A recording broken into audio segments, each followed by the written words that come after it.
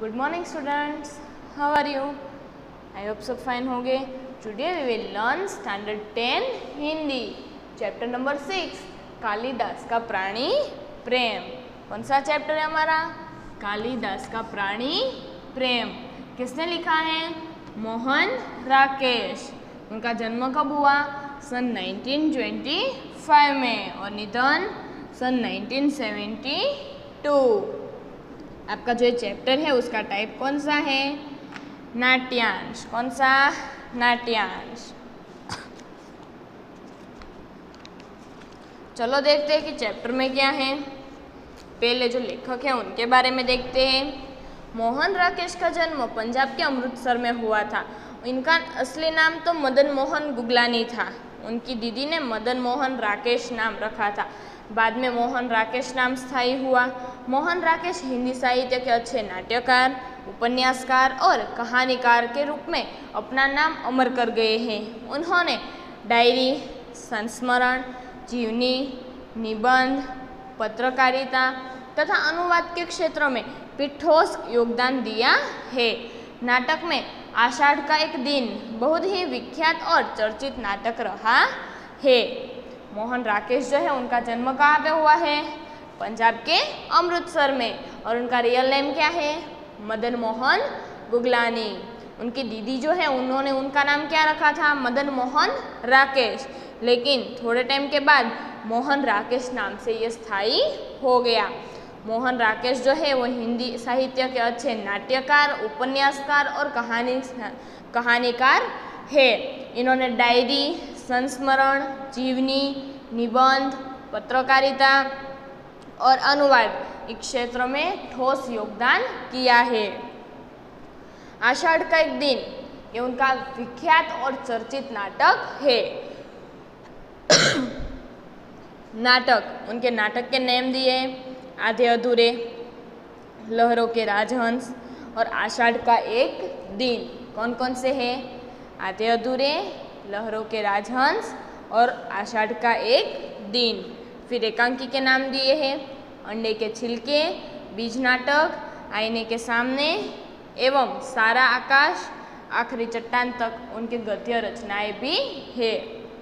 एकांकी कौन कौन सी है? अंडे के छिलके, बीज नाटक और आईने के सामने, और सारा आकाश, आखिरी चट्टान, ये उनकी गद्य रचना है। यहाँ पर आषाढ़ का एक दिन से केवल एक अंश ही कालिदास का प्राणी प्रेम शीर्षक से प्रस्तुत किया गया है।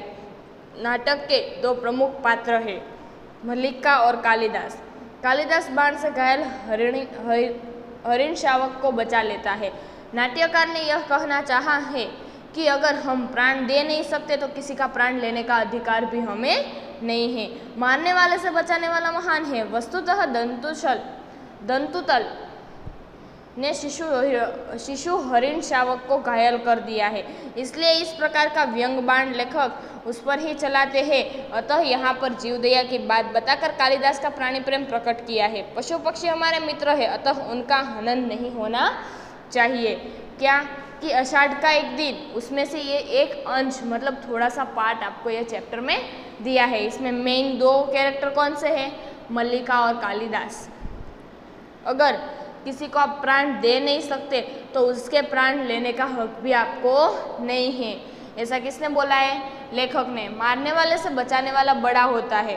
हरिण शावक जो है, वो घायल होता है, उनको बचाते हैं। तो जीव दया के बारे में इस चैप्टर में आपको दिया है। पर्यावरण की रक्षा के लिए पशु पक्षियों का अनन्य महत्व है। मानव जीवन विकास में प्राणियों का बड़ा योगदान है। प्राणी मानव के साथी है, इसलिए हमें उनके, उनका रक्षण करना चाहिए। प्राणी जो है एनिमल जो है, वो मानव के क्या है? साथी सपोर्टर है। तो आपको क्या करना चाहिए? उनको बचाना चाहिए। चलो देखते हैं उनके बारे में। कालिदास एक हरिण शावक को बाहों में लिए पुचकारता हुआ, आता है। हरिण शावक के शरीर से लहू टपक रहा है। कालिदास, हम जिएँगे, हरिण शावक, जिएँगे ना? एक बाण से आहत होकर हम प्राण नहीं देंगे। हमारे शरीर कोमल है तो क्या हुआ? हम पीड़ा सह सकते हैं। हम प्राण हम बाण प्राण ले सकता है तो उंगलियों का कोमल स्पर्श प्राण दे भी सकता है। हमें नए प्राण मिल जाएँगे। हम कोमल आस्तरण पर विश्राम करेंगे। हमारे अंगों पर ध्रुत का लेप होगा। कल हम फिर वनस्थली में घूमेंगे। कोमल दुर्वा खाएँगे ना? खाएँगे ना? क्या पूछ रहे हैं कि एक हरिण शावक जो है उसे हाथ में लेके आते हैं। शावक मीन्स जो एनिमल का बच्चा होता है, उसे क्या बोलते हैं? शावक। क्या बोलते हैं वो? कि हम जिएँगे, एक छोटे से बाण की वजह से हम मरेंगे नहीं। अच्छे से लेप करेंगे और फिर अच्छे होके फिर से कहाँ पे जाएँगे? वनस्थली मीन्स फॉरेस्ट में जाएँगे। मल्लिका अपने को सहेज कर द्वार की ओर जाती है। मल्लिका जो है वो द्वार की ओर आती है। मल्लिका, यह आहत हरिण शावक यहाँ ऐसा कौन व्यक्ति है जिसने इसे आहत किया? क्या दक्षिण की तरह यहाँ भी? क्या पूछा उसने? आहत मीन्स कि ये घायल एक घायल जो है वो एनिमल हरिण, शावक, कि यहाँ पे भी ऐसा होता है दक्षिण की तरह, कि यहाँ पे भी इसे मारते हैं? कालिदास, आज गाँव प्रदेश में कई नई आकृतियाँ देख रहा हूँ।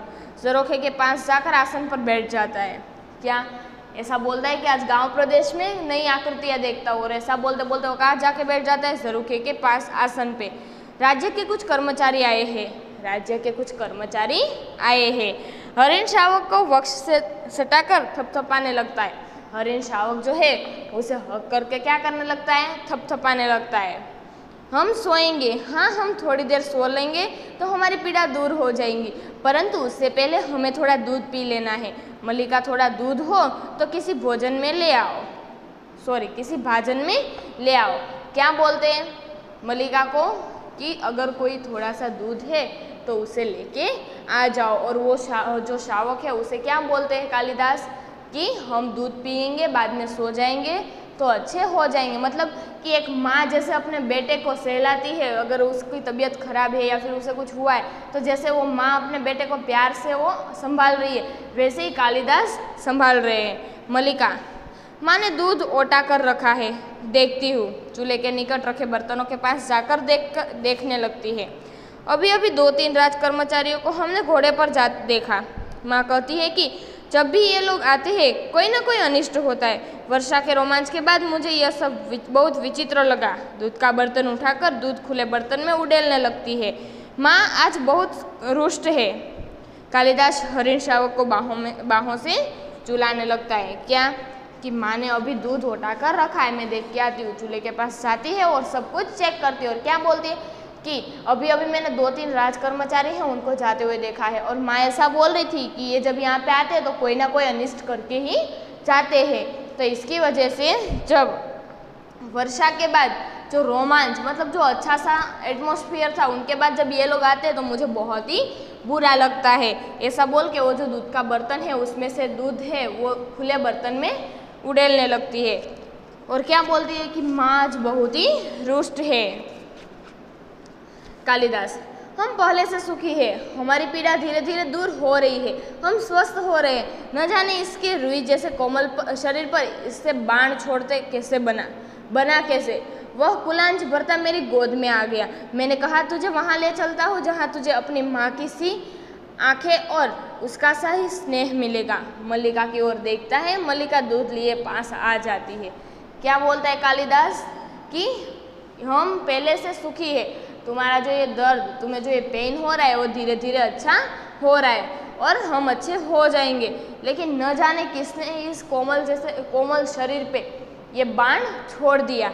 लेकिन फिर ये मेरी गोद में जब आ गया तो मैंने इसे क्या बोला कि तू मेरे साथ चल, जहाँ पे तुझे एक माँ जैसा प्रेम मिल जाएगा, उसी के जैसा स्नेह मिलेगा। और सामने से मल्लिका दूध लेके आती हुई दिखाई दे रही है। मल्लिका।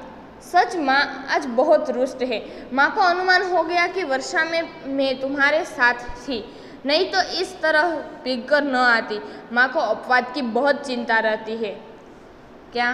कि माँ, उसकी जो माँ है, वो आज बहुत ही रुष्ट है। सच में वो रुष्ट है। क्यों?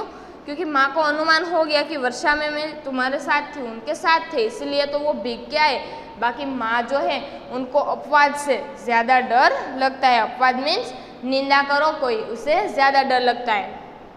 कालिदास, दूध मुझे दे दो और इसे बाहों में ले लो। क्या बोला कि दूध मुझे दे दो और इसे तुम बाहों में ले लो? दूध का भाजन उसके हाथ से ले लेता है। मल्लिका हरिण शावक को बाहों में लेकर उसका मुँह दूध के निकट ले जाती है। कालिदास भाजन को उसके और निकट कर देता है। हम दूध नहीं पिएँगे नहीं, हम ऐसा हट नहीं करेंगे। हम दूध अवश्य पिएँगे क्या जो कालिदास है, वो मल्लिका को क्या बोलते हैं कि तुम इसे अपने गोद में ले लो। और वो मल्लिका जो है, वो उसे अपनी गोद में ले लेती है और जो दूध का बर्तन है, वो कौन ले लेता है? कालिदास। और जो मल्लिका है, वो क्या करती है कि वो जो शावक है, उसे अपनी बाहों में लेके, उसका जो मुँह है, वो दूध के पास लेके जाती है और ऐसे कहती है कि हम दूध पिएँगे हम दूध नहीं पिएँगे ऐसी हट, ऐसी जिद नहीं करेंगे। दूध पिएँगे तभी तो अच्छे होंगे। राजपुरुष दंतुल ड्योढ़ी से आकर द्वार के पास रुक जाता है। क्षण भर वह उन्हें देखता रहता है। कालिदास हरिण को मुँह से दूध पिला देता है। ऐसे ऐसे दंतुल बढ़कर उनके निकट आता है। क्या राजपुरुष दंतुल ड्योढ़ी? मतलब जो राजपुरुष है, उसका नाम दंतुल है। वो जो है, वो आता है और देखता है कि ये दोनों जो है, वो क्या कर रहे हैं? जो हरिण शावक है, उसे सहला रहे हैं, उसे अच्छा कर रहे हैं। वो देखता है, थोड़ी देर रुकता है और फिर पास आता है दंतुल, दूध पिलाकर इसके कोमल मांस को और कोमल कर लेना चाहते हो? कालिदास और मल्लिका चौकर उसे देखते हैं। मल्लिका हरिण शावक को लिए थोड़ा पीछे हट जाती है। कालिदास दूध का भाजन आसन पर रख देता है। क्या बोलता है दंतुल कि इसे तुम दूध पिला के इसका जो मांस है वो और कोमल कर रहे हो? जैसे ही ये बोलता है कि मल्लिका और कालिदास दोनों क्या हो जाते हैं? शौक हो जाते हैं। और मल्लिका जो है, वो जो हरिण शावक है, उसे लेके थोड़ा सा पीछे हो जाती है। और कालिदास जो है, वो उसके हाथ में जो दूध का बर्तन है, उसे साइड में रख देता है। कालिदास, जहाँ तक मैं जानता हूँ, हम लोग परिचित नहीं हैं। तुम्हारा एक अपरिचित घर में आने का साहस कैसे हुआ? क्या? कि जब तक मैं जानता हूँ कि मैं तुझे पहचानता नहीं हुआ और हम अगर एक दूसरे को पहचानते नहीं है तो तू मेरे घर में आया कैसे? दंतुल एक बार मल्लिका की ओर देखता है, फिर कालिदास की ओर। दंतुल क्या करता है? एक बार मल्लिका की ओर देखता है, और फिर कालिदास की ओर देखता है। दंतुल कैसी आकस्मिक बात है कि ऐसा ही प्रश्न मैं तुमसे पूछना चाहता हूँ? हमारा कभी कभी का परिचय नहीं, फिर भी मेरे बाण से आहत हरिण को उठा ले आने में तुम्हें संकोच नहीं हुआ? यह तो कहो कि द्वार तक रक्त बिंदुओं के चिन्ह बने हैं, अन्यथा इन बादलों से घिरे दिनों में मैं तुम्हारा अनुसरण कर पाता? क्या? कैसी आकस्मिक बात है? दंतुल क्या बोलता है? कि कैसी आकस्मिक बात है कि मैं तुम्हें पहचानता नहीं हूँ, तुम मुझे पहचानते नहीं हो तो जो मेरे बाण से आहत हुआ है, उस एनिमल को तुम लेके कैसे आए? तुम्हारे इतना साहस कि तुम कैसे लेके आए? वो मेरे जो वो था, उसका शिकार मैंने किया था किसका? शावक का शिकार तो मैंने किया था। वो तो अच्छा हुआ कि वहाँ से तुम लेके आए तो सब जगह पे उसका जो ब्लड था, वो गिरा हुआ था। इसकी वजह से मैं यहाँ तक पहुँच पाया अगर नहीं होता तो ये बादल बादल छाए। मतलब कि बारिश आने वाली ऐसे मौसम में मैं कहाँ पे ढूंढता? कालिदास, देख रहा हूँ कि तुम इस प्रदेश के निवासी नहीं हो। दंतुल व्यंग्यात्मक हँसी हंसता है। क्या?